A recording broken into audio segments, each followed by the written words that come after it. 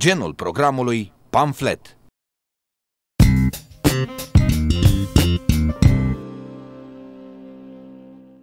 Țara asta e infinită, spunea cineva după ce a văzut-o pe senatoarea PC, Cristiana Angel, la ședința de plen de vineri, în care s-a dezbătut moțiunea de cenzură împotriva executivului Ponta, îmbrăcată într-un sacou cu Mickey Mouse. Se știe, aceasta este chiar porecla neoficială a premierului. Asta da dizidență. Iar țara asta infinită este formată din oameni infiniți, capabili de reacții infinite. Cum altfel am putea cataloga oare un gest precum acela de a-ți face un selfie cu un sinucigaș? Cu o persoană care amenință că va sări în gol de pe catedrala din Fălticeni.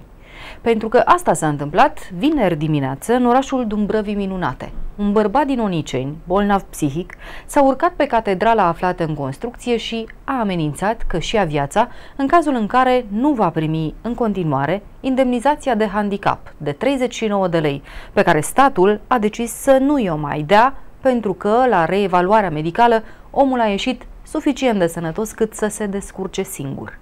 Nu că cei 39 de lei ar fi îmbunătățit radical situația materială, dar odată gradul de handicap acordat, bărbatul beneficia de pildă de o reducere cu 90% a prețului la medicamentele pe care le ia, iar tratamentul e unul costisitor.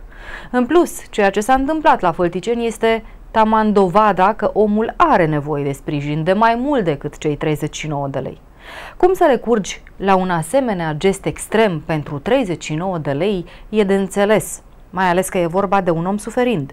Dar cum să-ți faci fotografii cu o persoană care susține că alea sunt ultimele lui clipe de viață?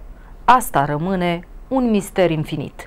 Mă întreb oare câtă satisfacție și adrenalină trebuie să-l fi străbătut pe un astfel de individ dacă, prin absurd, bărbatul și-ar fi dus gestul până la capăt, iar el ar fi reușit un selfie cu plonjeul macabru și odios, numai bun de o vizită la psihiatrie.